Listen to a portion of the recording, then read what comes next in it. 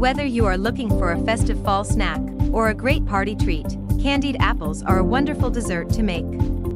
The combination of a crunchy candy shell and sweet, crisp apple makes for a delicious snack. Knowing how to make pink candied apples is a great hack for your next party. Though traditional candied apples are red, these pink ones are fun and cute. They are great for birthday parties, baby showers, or any celebration. Both kids and adults will love these adorable and tasty candied apples. What you will need Ingredients 6 small to medium apples, washed, dried, and stems removed. 6 candy apple sticks. 3 cups white sugar. Half cup light corn syrup. 1 cup water.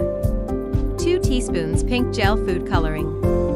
1 teaspoon vanilla extract. 2 tablespoons white food coloring. Step-by-step -step instructions.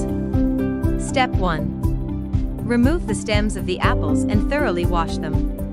Place the clean apples on a sheet pan sprayed with cooking spray to allow them to dry. Step 2. In a medium saucepan, combine the sugar, corn syrup, white food coloring, and pink gel food coloring using a wooden spoon. Cook the mixture on medium heat until it boils. Step 3. When the mixture begins to boil, stick a candy thermometer on the side of the pan. Be sure that the thermometer is well in the mixture, but not touching the bottom. The mixture should reach 302 degrees Fahrenheit. This may take up to 20 minutes, but the mixture does not need to be stirred in the process. Step 4. Once the mixture has reached 302 degrees Fahrenheit, remove it from the heat. Use a rubber spatula to stir in the vanilla extract, making sure it is fully incorporated. Step 5. Carefully dip the apples into the sugar mixture. Swirl them around to make sure they are fully coated. Allow the excess sugar mixture to drip off. Place the apples on the sheet pan to allow them to fully dry. Be certain to be careful when dipping the apples, as the sugar mixture will be hot. It is best to tilt the pan to make it easier to dip. Tips and tricks. Candied apples can be kept covered at room temperature for 2 to 3 days. Make sure they are kept in a cool, dry area, and be sure to avoid placing them in the sun. Avoid storing them in the fridge, as this can cause the candy coating to become sticky and messy. Granny Smith apples are one of the most popular choices for making candied apples.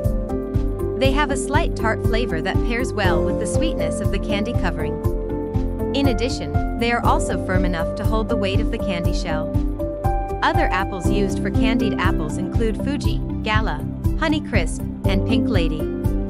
Make sure to use fresh, firm apples, preferably free of bruises or marks, for the best results. It is also important to make sure the apples are completely dry before dipping them in the candy mixture to ensure that it sticks. A common issue that often happens when making candied apples is air bubbles forming on the surface of the candy shell. To help prevent any bubbles from forming, be sure to thoroughly wash them off. The wax covering that is added to apples is often the culprit to the candy not sticking or bubbling. To ensure you get all the wax off, you can place them in a large pot of boiling water that has 1 to 2 tablespoons of baking soda. Leave them in there for 1 minute, turning them to ensure all sides get covered. After they are done, dry them off with a paper towel and let them air dry if needed before dipping.